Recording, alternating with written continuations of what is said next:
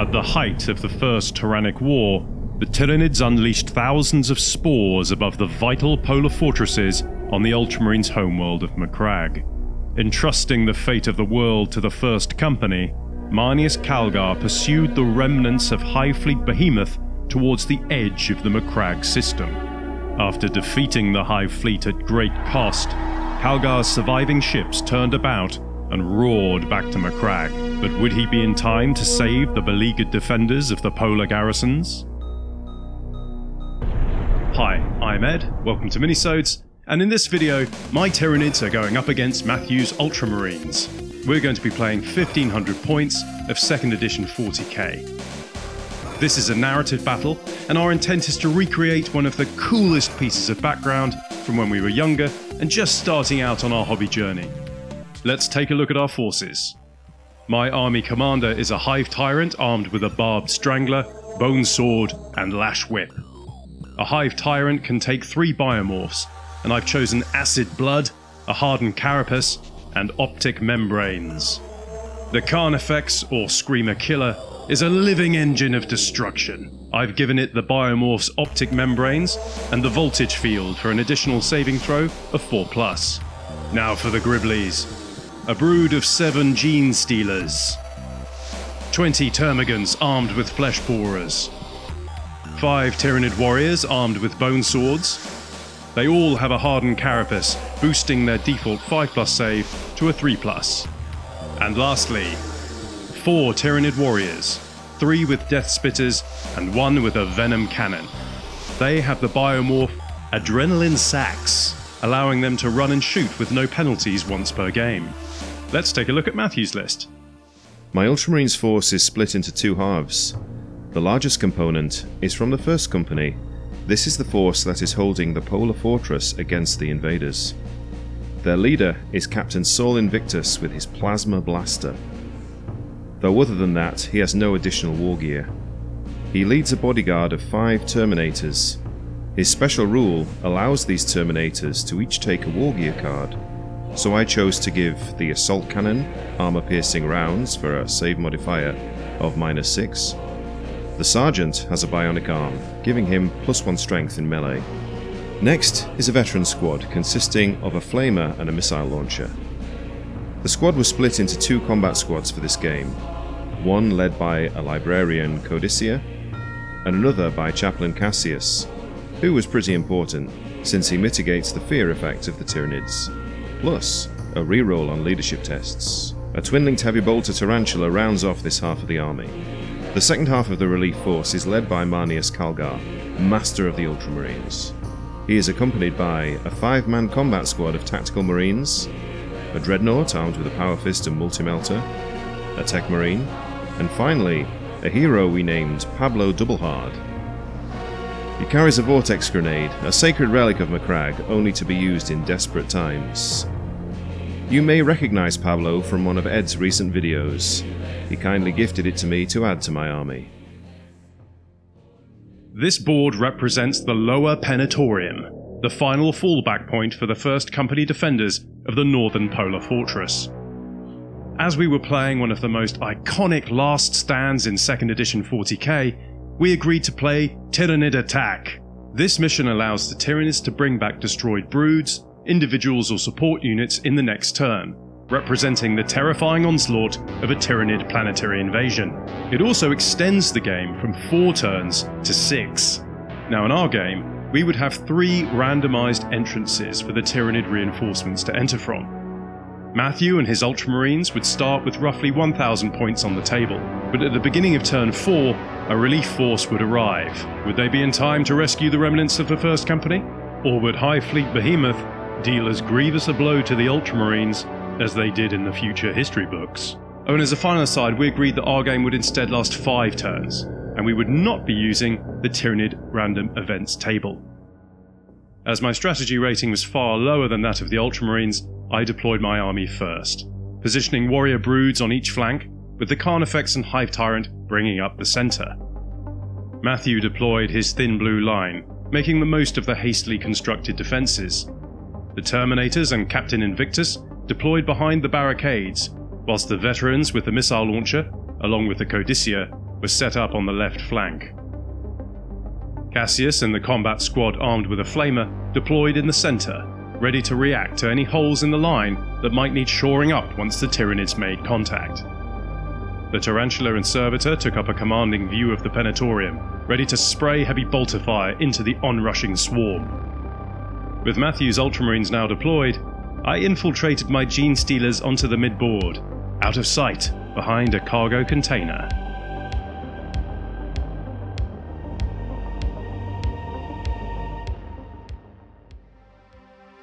With virtually all of his weapons out of range, Matthew wisely placed his three squads on Overwatch. The Tarantula battery had range on the termagants and let rip into the tide of critters. Rolling two lots of sustained fire dice, Matthew scored six hits and blew six of the shrieking Xenos into pieces. With shooting over, we entered the psychic phase. The Codicier reached out with his mind and sensed the malignant presence of the Genestealers lurking behind the container. Matthew played Smite with ultimate force and burst two of the horrifying creatures apart in a shower of gore and etheric lightning. Sensing a presence in the warp, the Hive Tyrant attempted to duel with the Codicier, but Matthew brought this to an end by nullifying the power. With a synaptic pulse from the Hive Tyrant, the swarm rushed onwards. The Termagants ran forwards, whilst the Tyranid warriors brandishing ranged bioweapons followed closely behind in order to keep the smaller creatures within their synaptic reach. It was at this point that Matthew triggered Overwatch with Invictus and the Terminator squad. Captain Invictus poured five shots from his plasma blaster into the Tyranid warriors. Invictus killed two warriors in a torrent of superheated death, Fortunately for me, the assault cannon missed. The storm bolters caused two more wounds. I saved one and took a wound on a warrior. Saul Invictus's plasma blaster now needed to recharge before he could do that again. The Carnifex ran 12 inches up the centre of the board, followed closely by the Hive Tyrant. Recovering from the smiting they received in the Ultramarine psychic phase, the Genestealers sprang from cover, loping headlong into the Ultramarines' left flank. Matthew triggered Overwatch once more, and both combat squads fired everything they had into the Gene Stealers, causing three wounds, none of which I managed to save on sixes. A fourth Gene Stealer was struck by a crack missile and scattered itself across the walls and ceiling of the Penitorium. Brandishing their bone swords, my second brood of warriors bounded onwards, the pounding of their chitinous hooves audible above the cacophony of bolter fire and shrieks of dying tyranids. In my shooting phase, the warriors that had been plasmed by the hated Invictus deployed their adrenaline sacs, allowing me to shoot with no penalty after running. The Venom cannon struck the Terminator Sergeant, and after some fun messing around with the Thud Gun salvo template and a D12, I failed to wound the veteran warrior. In the psychic phase, my Hive Tyrant played Energy Drain, bringing the phase to an abrupt end. I wasn't keen on getting smited again. Matthew took some time to consult the Codex Astartes for some guidance on the most prudent course of action. He then redeployed his Terminators into the centre and ran Cassius and his squad behind the barricades, doubtless to bring the Flamer forward in readiness for the fierce fighting to come.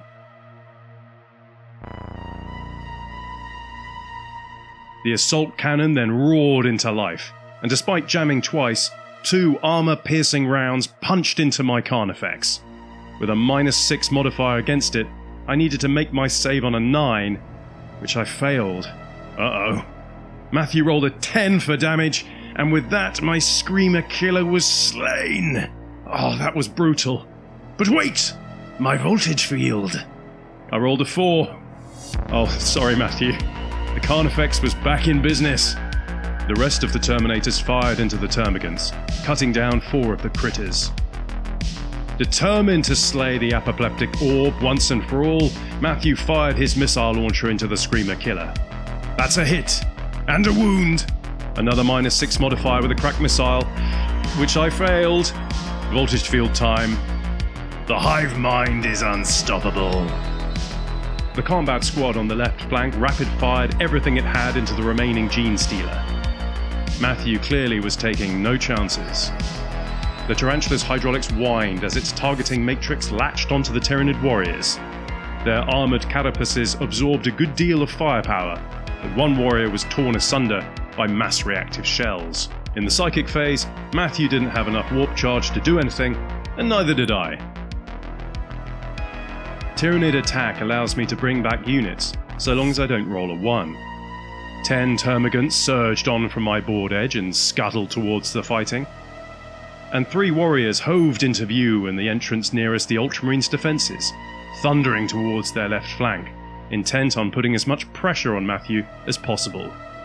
The Bone Sword warriors with the armoured carapaces advanced, looming over the 1st Company veterans manning the barricades. The Carnifex charged into combat with the two Terminators. And the Termagants moved up to get the Marines within range of their flesh borers. My two remaining warriors, their adrenaline sacs dry, stayed put, ready to fire the Death Spitter and Venom Cannon into the Terminators. In my shooting phase, the Termagants loosed a deluge of boring beetles into the Terminators, causing two wounds, but failing to penetrate their tactical dreadnought armor. Now it was the Warriors' turn, again firing into the Terminators. The Death Spitter missed, but the Venom Cannon struck the Assault Cannon Terminator, killing him in a supersonic blast of electrical energy and corrosive poison. Cassius was also struck, but the Emperor protects. The Hive Tyrant fired his barbed Strangler, a truly horrific weapon, hitting the Terminator Sergeant, but failing to wound. In the psychic phase, Matthew's Codicier attempted to smite the warrior brood, but fortunately I'd drawn the Nullify card, which took care of that. In the close combat phase, the Carnifex brought low two storied heroes of the Imperium. I then made a follow-up move, bringing the Carnifex within striking distance of Saul Invictus, captain of the First Company. Things were getting serious for the embattled Ultramarines.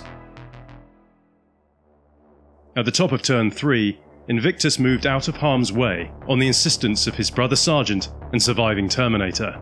Hoping to catch the onrushing Termagants off guard, Cassius ordered his veterans forward, doubtless to get the Flamer into the fray. Who needs barricades when you have power armor? A torrent of Promethium reduced three of the Termagants to embers, whilst another three of the little bleeders were pulped by bolter rounds. The Terminator Sergeant realizing his weapon would be useless against the Carnifex, stitched a line of fire into the Tyranid warrior brood, slaying one of them. With the recharged light on his plasma blaster blinking green once more, Captain Invictus fired the venerable weapon at the Carnifex, jamming it in the process and failing to wound the beast. The missile launcher fired a crack missile into the monstrosity's rear, hitting, wounding, but ultimately failing to penetrate his void-hard chitinous shell. The tarantula joined in the fusillade of fire. Matthew really knows how to roll sustained fire dice, putting seven shots into the Carnifex, but again failed to punch through the alien's armor. On the left flank, the veteran squad rapid fired their bolters at point blank range into the looming warriors, wounding one of the fell Xenos. In the psychic phase, Matthew cast Smite into my warriors, but again, the oppressive shadow of the warp prevented the power from manifesting. With the defenders above completely overrun, more horrors poured into the corridors of the subterranean fortress. A brood of seven gene stealers appeared at the Hive Tyrant's bidding and moved to eradicate the last of Macragge's defenders. The Termagants bared their fangs and charged into Cassius's veterans, hoping to drag them down. The Carnifex, emitting a hypersonic shriek of cosmic fury, again charged the steadfast warriors of Ultramar. Whilst my other warriors overran the barricades on the Ultramarines' left flank, looking to finish the hated prey with their bone swords.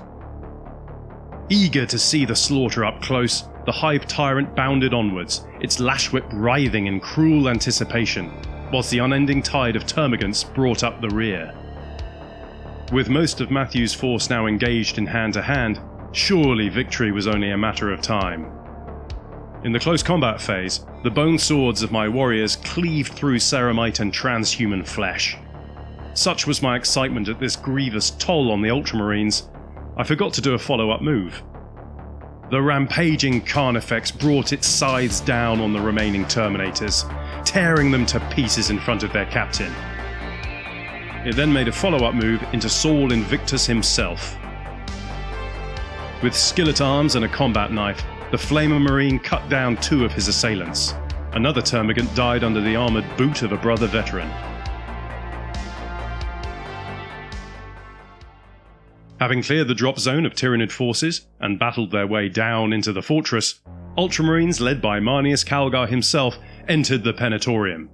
But would they be in time to save their brethren from annihilation? Matthew moved his Flamer Marine closer to the wounded warrior, priming his weapon once more, whilst Cassius closed with the surviving Termagant, eager to batter it with his Crozius. The Codicier, seeing his brethren fall to the bone swords of the warriors, leapt back into cover. This would at least give him a small bonus in a future fight phase. The Dreadnought, bellowing oaths of vengeance, used the heavy flamer setting on the multi melter, vaporizing three of the hated Gene Stealers. The rest of the Marines cut another two of them down with disciplined fire. The Codicier snapped a bolt round into a wounded warrior, slaying it and sending the massive creature crashing over the barricade in a shower of ichor. The tarantula, its barrels glowing red hot, thundered into the warriors at point blank range. Matthew could really roll those sustained fire dice, and with d4 damage apiece, killed another two warriors in a torrent of shells.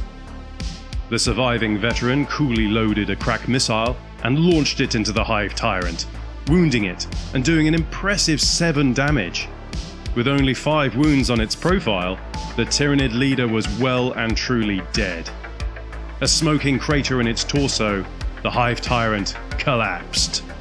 Matthew's Flamer incinerated another warrior, and bolter fire from the rest of the squad wounded the warrior with the Venom cannon. In the close combat phase, Cassius fumbled spectacularly against the remaining Termagant, having to rely on his brother Veteran to finish the job. In the psychic phase, neither of us were able to act with the cards we were dealt. In my fourth turn, a fresh brood of gene stealers, along with another hive tyrant, whose multiplying swarms of termagants did swarm upon him, surged into the chamber. Above ground, the Tyranid forces were all but spent, at awful cost to the Imperium. Urged on by alien spite, my swarm pressed on.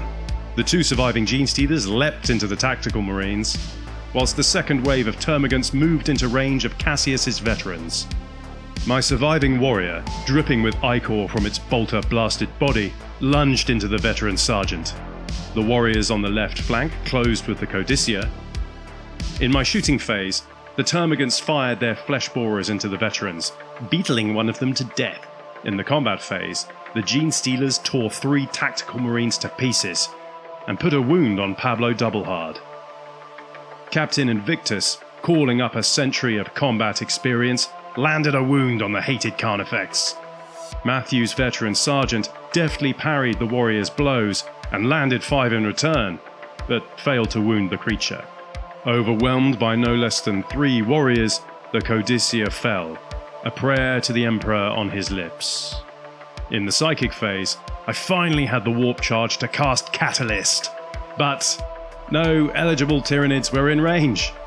Drat. In Matthew's final turn, his veterans piled into the warrior, intent on bringing the horror down. Marneus Calgar charged the Gene Stealer in combat with Brother Doublehard. The Tech Marine wandered off to have a look at something over here. Whilst the Dreadnought lined itself up for another molten blast with its multi melter. In the shooting phase, just one Gene Stealer was slain by the Dreadnought's template weapon. The Tech Marine fired his bolter at the Termagants but failed to inflict a wound, the last veteran on the left flank fired a frag missile at the brood of termagants, but missed spectacularly. In close combat, Marneus Calgar punched a Gene Stealer so hard the Norn Queen probably felt it. But poor Pablo Doublehard fell to a Gene Stealer, his vortex grenade untouched. Another tactical marine fell to the claws of the Gene Stealer, and my warriors finally dealt with the Tarantula battery, tearing the weapon off its housing, then piling into the servitor. Finally, bellowing oaths of moment, the warrior was pulled apart by Cassius and the survivors of the first. In my final turn, I charged the Gene Stealers into the remaining Marines, bringing three of them into base contact with Marneus Calgar. The warriors now eyed up the servitor, whilst my termagant surged into the Marine with the missile launcher. In the last round of close combat, Calgar slew another Gene Stealer, but was dealt a wound in return. The Carnifex put three wounds on Saul Invictus, but the captain's armor held once, failed on the second, and Matthew rolled double sixes on the third, leaving him with two wounds. He could do this all day, no doubt. And that brought the game to a close. That was tremendous fun. I've always wanted to reenact this legendary battle on the tabletop, and this game certainly did not disappoint. The Tyranids are brutal in close combat. The Carnifex, though, was just something else, and that voltage field well, let's just say I might not be taking that in future games. I think it's just a little bit too good. Now over to Matthew with some of his thoughts on this epic encounter. This was an entertaining game, and I feel we did a good job of creating the narrative of the last desperate defense at the Polar Fortress. The Ultramarines' objective was to survive, and though they incurred heavy losses, I feel like they did that well. In the first two turns, I only lost three Terminators, which goes to show how tough Space Marines can be. Of course, the endless refresh of Ed's forces meant I wasn't going to last forever, but at least I managed five turns.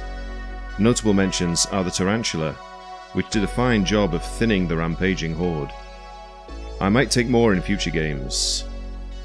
The second legend here was the missile launcher guy who almost killed two monsters. Were it not for the voltage field, the missile launcher would have downed the Carnifex, but I guess he would have to settle for the Hive Tyrant who ate his crack missile later on. Third is Saul Invictus, who tied up a Carnifex for half the game. He only caused one wound, but he really held his own in close combat. And finally, the Codicier, who pretty much eliminated a squad of Gene Stealers with his Psychic Power Smite on the first turn. As for things I would change, not much really. The Vortex grenade never left the belt of Pablo Doublehard, which was a disappointment. The bionic arm was redundant war gear, but apart from that, the honoured first died with honour. Before I go, I'd like to say a huge thank you to Matthew for rolling dice with me. Be sure to check out the links to Matthew's channel and hobby Instagram in the video description. Oh, and check out the awesome portrait Matthew did of Buffy. She loves it. I think that just about wraps it up for this week. Thanks so much for watching, and happy hobbying.